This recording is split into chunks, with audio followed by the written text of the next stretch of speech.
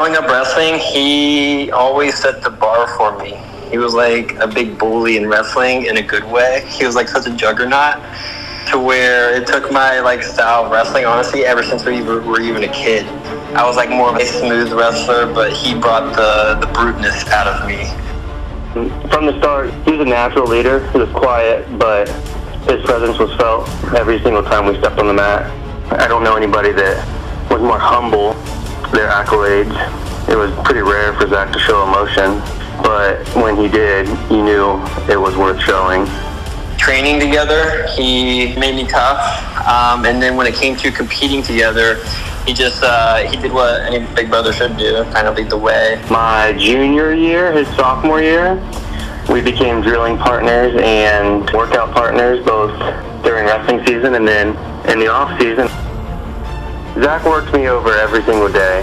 For me to to get a win was few and far between.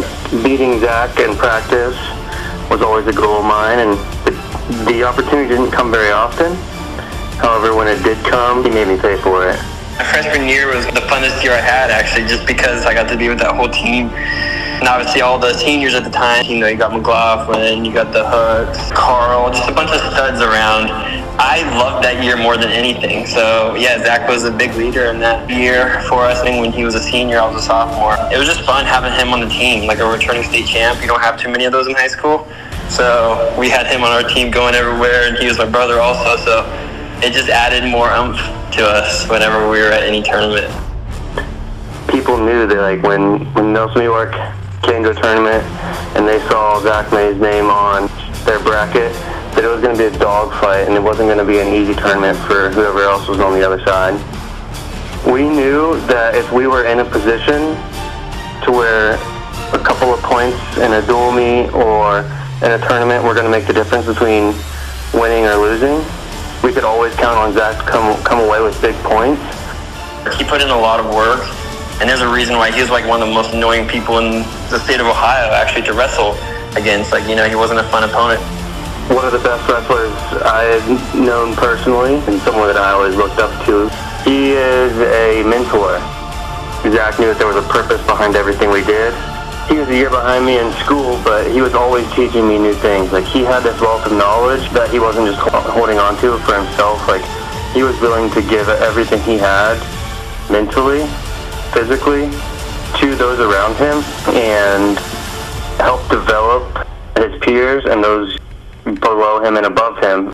It was really fun to watch. He did have a lot of work ethic. He's just a natural beast, a natural juggernaut. He doesn't stop. My brother's a much more natural, natural beast. Knowing my my drilling partner, my practice partner, was the best in the state was a pretty cool feeling for me because I knew that I was going to get the best. Day in and day out, I was getting to work with the best in the state.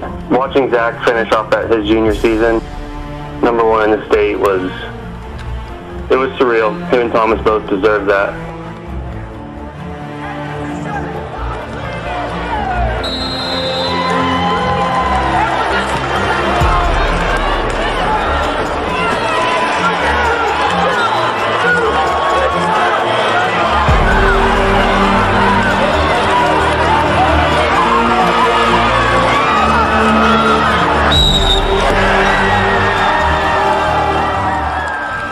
Proud of him. He's very deserving of this reward or being in this uh, group of people.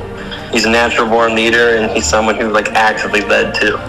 Yeah, I'm proud of him. I think he's very deserving. I put a lot of my thanks in Zach helping develop who I am today.